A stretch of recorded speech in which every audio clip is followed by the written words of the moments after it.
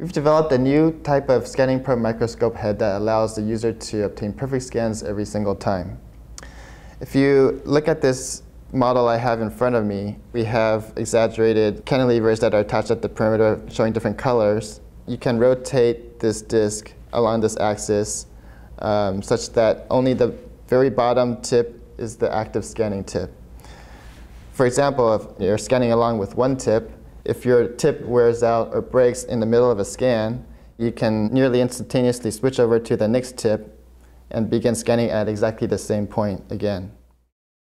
So not only does this concept allow you to replace worn or broken tips instantaneously, but you can actually switch to different characterization techniques instantaneously.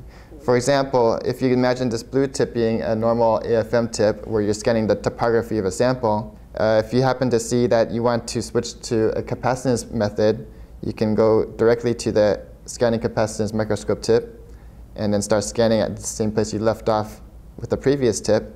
And then you might decide you want resistance data, so you can switch to the scanning spreading resistance microscope tip and continue scanning at the same place the previous tip left off.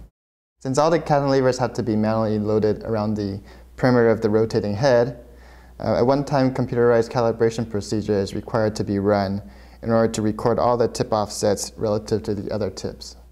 By using a calibration pad, which utilizes technology similar to a capacitive or resistive touchscreen found on tablet PCs, a computer system stores the position of the tips relative to all the other tips by simply touching each tip to the pad.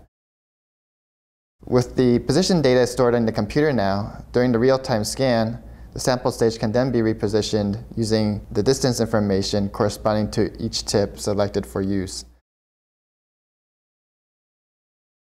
All of the electrical signals that come through the tip actually pass through wiring that go into the post of the head and lead back to the computer system where it processes the data signals that it received.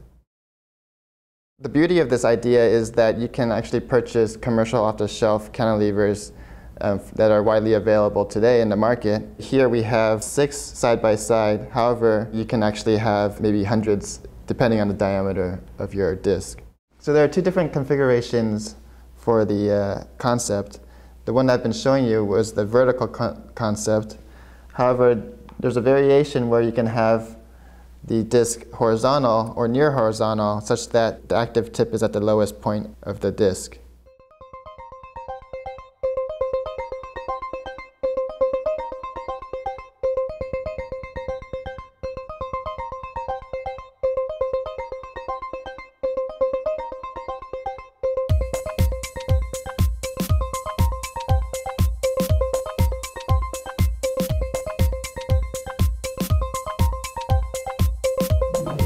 SPAWAR System Center Pacific is a U.S. Navy research and development lab located in San Diego, California. The center is supported by a workforce of 2,000 scientists and engineers who are developing the latest cutting-edge technologies. We are looking for strategic partners to help us commercialize our technologies for DoD and civilian applications. For more information on this technology or any of our technologies, please contact us or visit our website at spawar techtransfer.navy.mil.